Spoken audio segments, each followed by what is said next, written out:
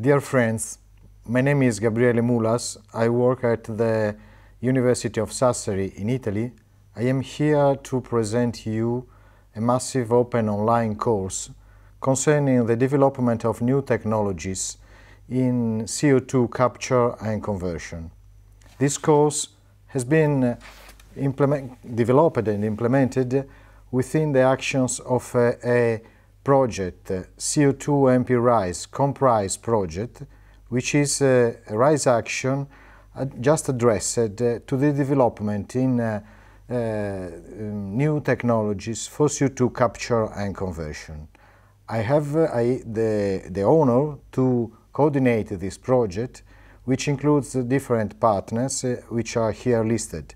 The University of Sassari, the University of Burgos in Spain, the Hereon uh, a Research Center in Germany, a company based in Greece, Monolithos, the Universidad de Chile in Chile, and the Instituto Balseiro uh, located in South America. The uh, MOOC I am going to present is divided in different chapters and in different modules that will be specified in the following.